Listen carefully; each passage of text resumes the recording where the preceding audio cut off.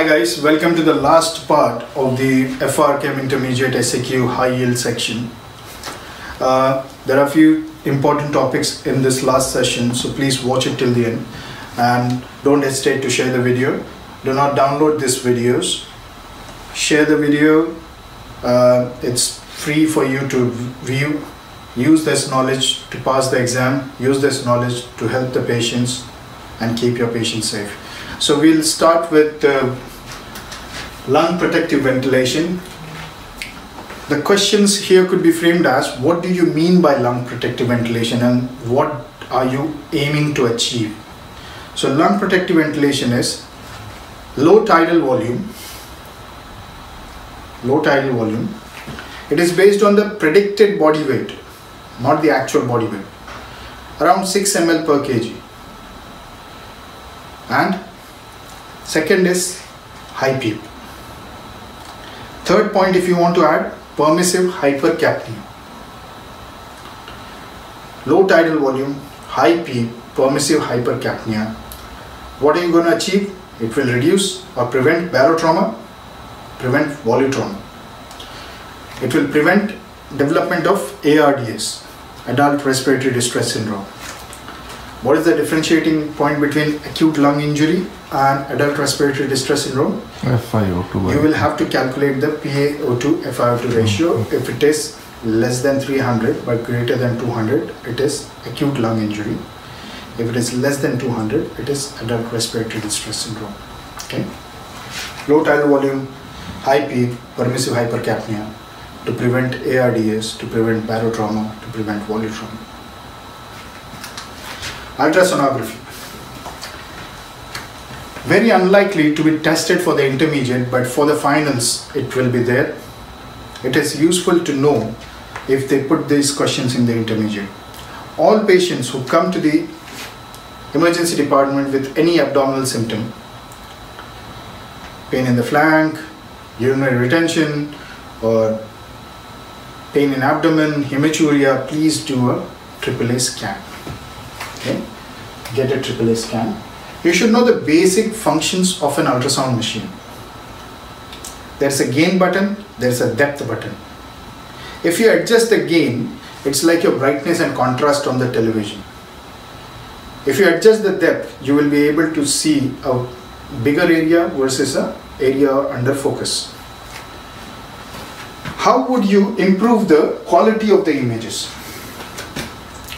You can tell the patient to move change in patient's position or ask the patient to perform different maneuvers like deep inspiration will bring the gallbladder or the kidneys further down and will be visualized well okay? Machine related two buttons adjust the gain adjust the depth. Third environment related if you dim the light the images become brighter that is your AAA outer to outer diameter should not be more than 2.5 centimeter. Outer to outer.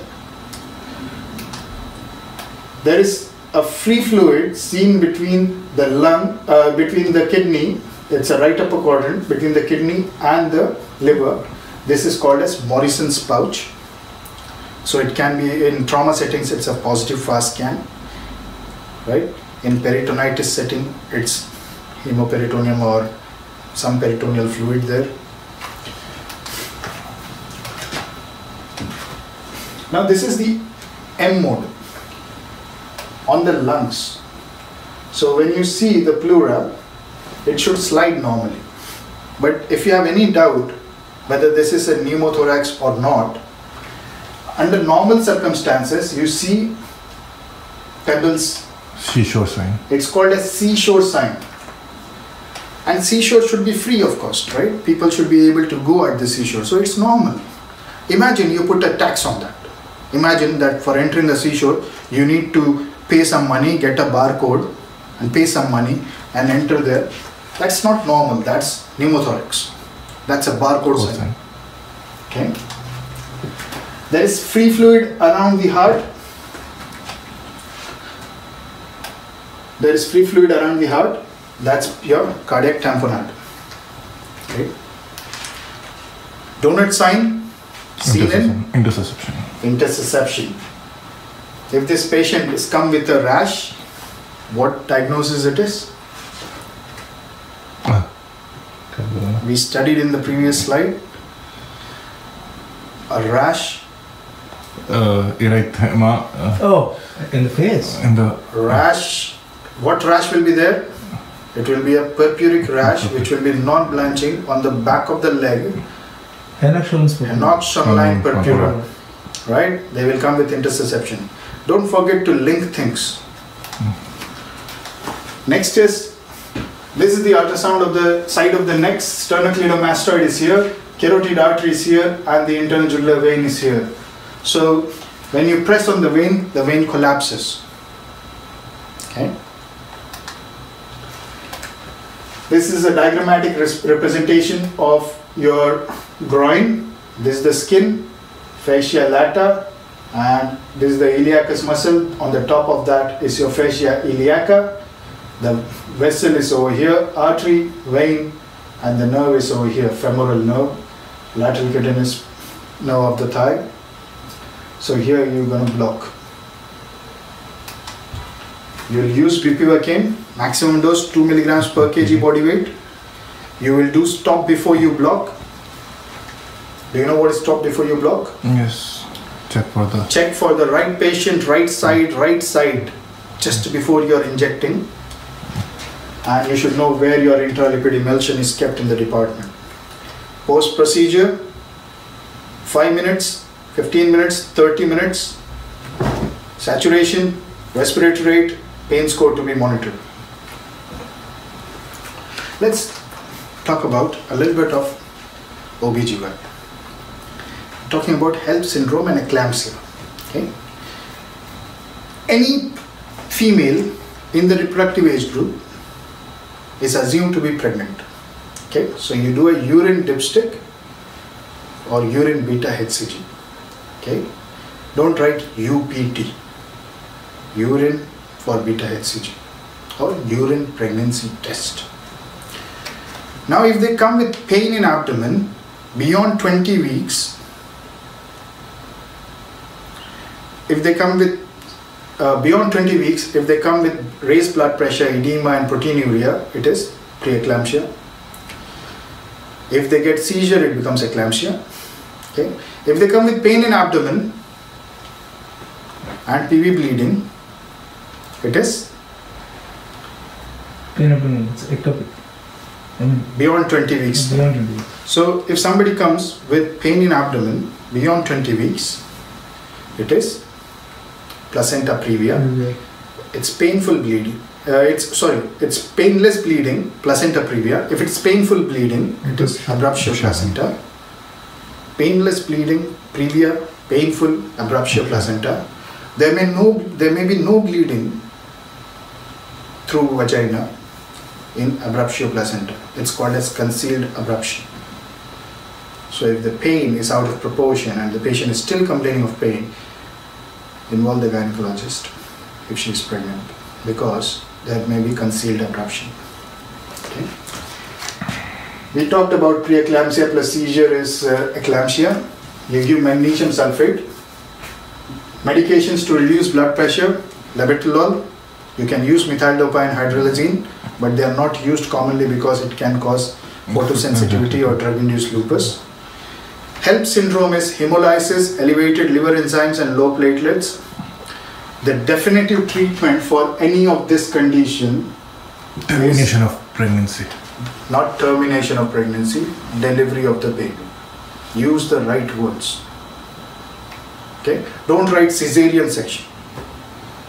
Right? Delivery of the baby. Now, how they will deliver, that is up to the examiner. Let's talk about traffic light. This, if you Google traffic light, you will see a chart which shows green, amber, and red. Green goes home. Amber stays in the hospital or goes home if support is there. If parents are happy, they are able to take care, they are they live very close by to the hospital based on all these situations, Amber can go home. The red ones get admitted in the hospital. Now people have to memorize this. How do we memorize this? If you remember the mnemonic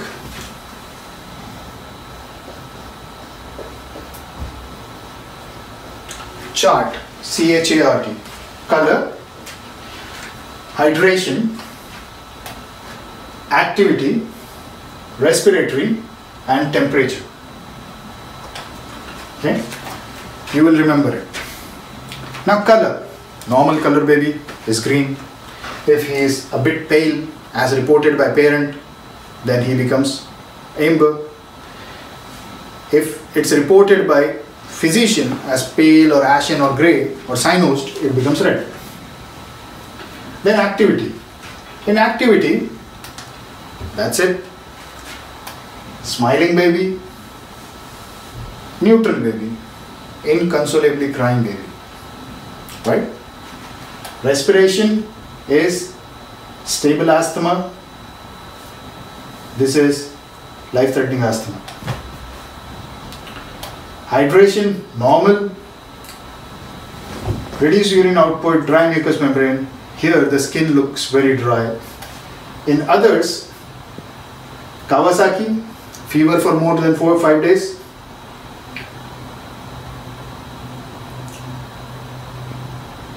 This is septic arthritis. This is meningitis or status epilepticus or febrile seizures. Or complicated febrile seizures. Okay. ALTE versus BRUE what is ALTE? Apparent life threatening event. Okay. Apparently the caregiver feels it's a life threatening event and then brings the child to the hospital where you examine the child do everything possible to rule out multiple causes. So there may be causes present right? GERD or convulsion whatever okay? BRUE is brief resolved unexplained event. Now if they ask me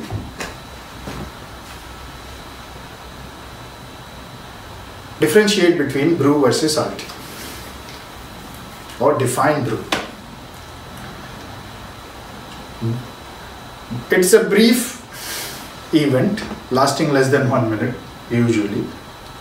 It is resolved by the time they present to the hospital whereas ALTE may not have resolved. Yeah. So ALTE may not be brief the definition was as perceived by the caregiver. Here you are defining the provider is defining the condition as brief resolved unexplained. There are no cause found. No explanation. There there might be causes. Okay? There is no age limit in RT in BRUE they say usually less than one year. There may be specific cause. There is no other explanation. Carer's perception clinician's per- perception. Three points three points. Good enough. You still want some more? You can memorize these things. These are taken from google so you can google it and see. However i feel three points here three points here is good enough. Young female is pregnant. Okay? So if she comes with abdominal pain it is ectopic if she comes with shortness of breath she has pulmonary embolism. Okay? A young abdominal pain. Please look at the genitals. Children do not do a rectal examination. Please look at the genital. Young abdominal pain will be having testicular torsion. Okay? So always ask sexual history adult male or female more than 60 triple scan black population has sickle cell bedside investigation is ECG, urinalysis, urine beta HCG, uh, finger stick glucose, venous blood gas, arterial blood gas, portable chest x-ray. Read the question. If they say bedside test, these are the bedside tests. Lab investigations are hematology and biochemistry. One question they could frame is from your primary. They can ask you the knowledge of primary, just like I asked about abductor pollicis longus. Similarly, they can frame up questions.